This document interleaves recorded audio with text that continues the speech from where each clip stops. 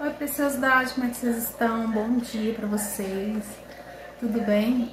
Eu estou bem, graças a Deus.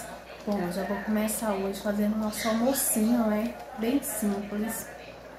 Vou mostrar para vocês o toque que meu esposo fez no fogão de lenha lá na casa da mãe dele, né? Aí o que sobrou, um pouquinho que sobrou, minha sogra me deu um pouquinho. E eu estou requentando aqui Aí tô fazendo aqui um arrozinho. E é isso a comida de hoje, gente. Aí aqui tá o mocotó, do sacado da minha sogra. Vai ser o almoço de hoje, só que eu não como mocotó, gente. Não sei se vocês comem. Aí, aí eu fiz o arrozinho, ó. Já tá na primeira água. E vou estar colocando, fazendo fígado para me comer, né? Ó, já coloquei até aqui de molho um pouquinho para ver se amolece, porque eu não como mocotó, né? E é isso, aí eu vou limpar essa casa que tá suja.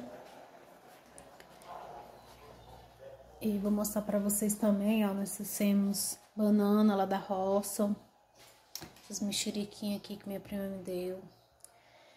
E essa tábua aqui, ó, de carne bem pesada, foi meu cunhado que deu pro meu, meu esposo, né, que é o irmão dele. Bem pesado, gente. Eita, não dou conta nem de levantar, acredita? Olha o peso que tem essa tábua. Enorme, gigante. É tábua de carne, né? Ó, é um rapaz que faz. Nossa, que deve ter uns 30, 40 quilos aqui. Peso doido. E é isso, então eu vou estar limpando a casa, né? Fazendo almoço. Essa banana aqui também nós trouxemos de lá da roça. Banana, esses ovos aqui meu esposo tá juntando pra colocar, pra, colo, pra pôr, né? As galinhas, tá?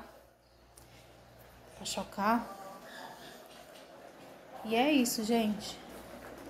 Ó, nosso mocotózinho já tá aqui no fogo. E Vou até estar desligando ele. Então, vou fazer só um feijãozinho. Esperar o fígado amolecer. Pra me temperar ele, a cebola, o cebola, alho. Eu gosto muito de fígado. E, e é isso, gente. Aí vou fazer também um... Um verde. Gostoso. Vou estar fazendo também é, batata cortadinha, né? Cortadinha e vou temperar ela e vou, vou fazer. Então é isso, meus amores. Aqui o sol tá quente, tá vendo? Ó, as galinhas fujonas tá ali. Aí tem umas sementes que eu peguei de pitanga, ó. No vídeo anterior eu mostrei umas pitanga, né? Os pés de pitanga. Aí eu peguei a semente. Minha sogra me deu. Eu comi e peguei a semente, né, ó. Eu vou estar plantando. Porque, gente, é um gosto bem cítrico mesmo, bem excêntrico, né? Fala. Muito peculiar. Então eu vou estar plantando é, pé de pitão que dá vários pés, né? E é isso. Aí eu vou... Meu esposo já pegou umas folhinhas. O vento bateu a porta. As folhinhas de crajiru, ó, pra estar secando. Pra não... Quem conhece crajiru é um, uma planta abençoada, né? Que serve para limpar o útero, serve para anemia. Ó, nós temos o pé aqui. Eu ganhei ele, era bem pequenininho o pé, sabe? Eu ganhei ele porque eu tinha muita dificuldade de engravidar. Só que, na verdade, o problema era no meu esposo, né? Não era em mim. Aí teve uma senhora lá da igreja que levou pra anemia. Aí limpou o útero dela e ela engravidou, acredita? É muito bom, gente, muito bom. Muito bom. Um dia que nós mudar, nós quer levar uma mudinha. Se a gente for pra roça, né? É, Deus está preparando tudo. Se a gente for para a gente vai levar uma mudinha de crajiru, porque nós somos apaixonados por essa, por essa planta. E só tem na Amazônia, né? Esse crajiru. Ó, a única plantinha que restou aqui no nosso quintal, ó, tinha várias plantinhas de remédio. A galinha fujona já pulou.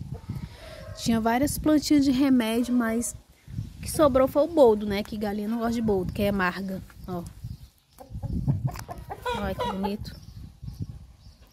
Foi o que sobrou, né? Foi esse pezinho de boldo. E esse aqui de cidreira, tadinho, ó. As galinhas detonam, detonam. É muito bom galinha, mas a gente não pode plantar nada que elas comem, né? Nosso pezinho de manga ali já tá brotando manga. Manga piqui, né? Uma delícia. E é isso aí, gente. Então, o nosso vlog super, super curto. Espero que vocês tenham gostado. Fiquem todos com Deus. Tenham um bom dia. Bye.